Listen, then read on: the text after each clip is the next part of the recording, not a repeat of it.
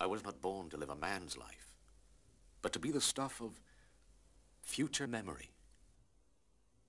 The fellowship was a brief beginning, a fair time that cannot be forgotten.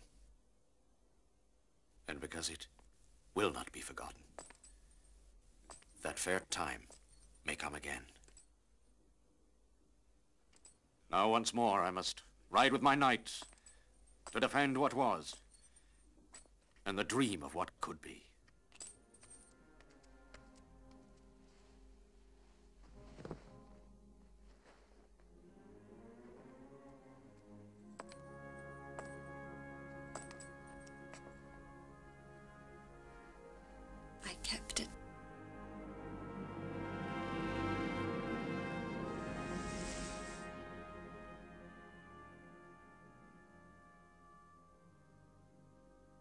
I never dared to hope all these years that it was in your keeping.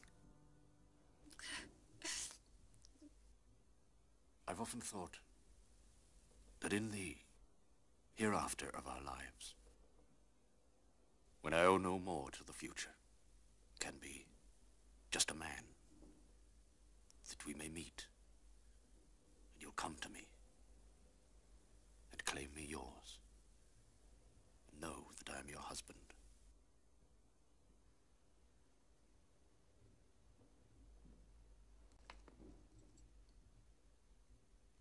It is a dream I have.